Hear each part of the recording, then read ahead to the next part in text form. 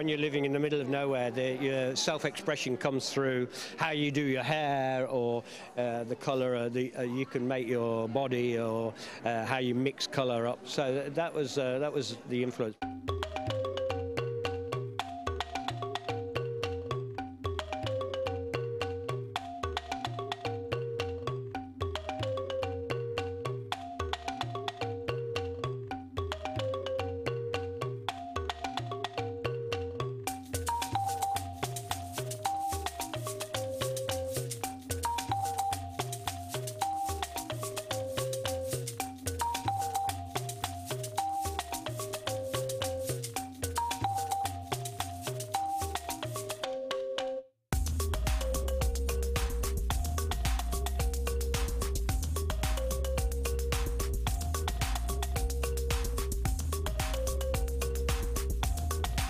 The collection was really divided into masculine and feminine, and the masculine part of the collection was really based on a, a book that will be coming out soon uh, of photographs from uh, the Congo. Very optimistic colours, very cheerful colours, bright blues, yellows, pinks, and lots of print, of course. I have to have the stripe, uh, and uh, uh, but this time it's like a hand-painted stripe. African prints as well, and then mixing pattern. So as you saw, I was mixing uh, even some swimwear pieces, mixing over a t-shirt and things. So pattern on pattern on pattern, which is very like uh, Mali or you know any of the ethnic groups who are very um, creative with very little.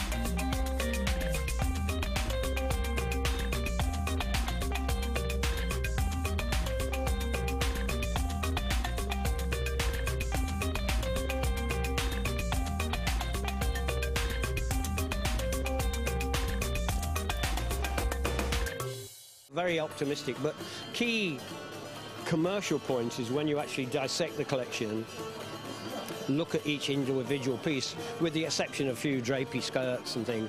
They're very, very easy to wear commercial pieces. So, you know, the uh, buyers can come into the showroom and they will get things that work. When you come into the showroom, you can find the blacks and the, the classical suitings, but obviously for a show, you do, you know, things that are bright colour.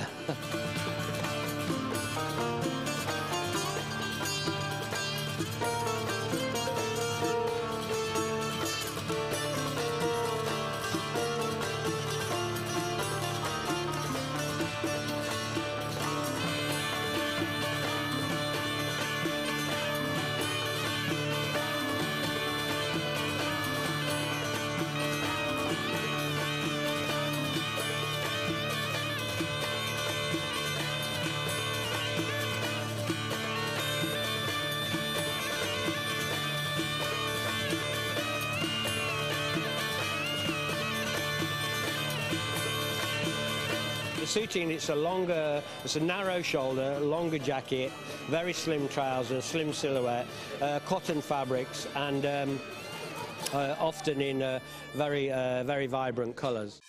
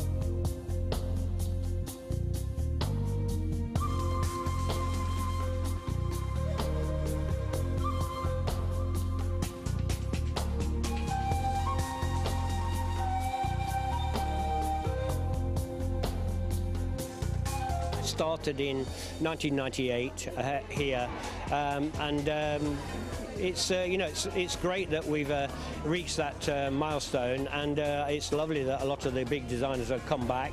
It'd be nice to think that some of them will stay uh, stay here.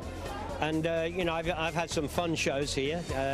I've done one in a garden and one in an old hotel and one in a warehouse, and so it's been good fun we're a gold mine of talent here in, uh, in England. Sometimes we're not very good at harnessing it. That's the only problem.